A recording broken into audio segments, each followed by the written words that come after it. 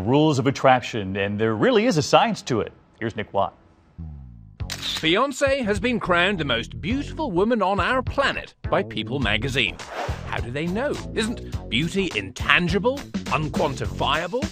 Halle Berry has appeared on People's List 15 times, Julia Roberts 13 times, J-Lo 11, and there's a scientific explanation. Underneath it all, we're all hardwired to pick up on certain attractive features. A recent study produced a remarkably exact formula. Between the eyes must be 46% of the width of a face. Eyes to mouth must be 36% of forehead to chin. I've been measuring the faces of beautiful women, trying to disprove these rules. I was hoping Michelle Pfeiffer's eyes were too far apart. They're not. They're perfect. All of these women come within 1 or 2% of these ideals.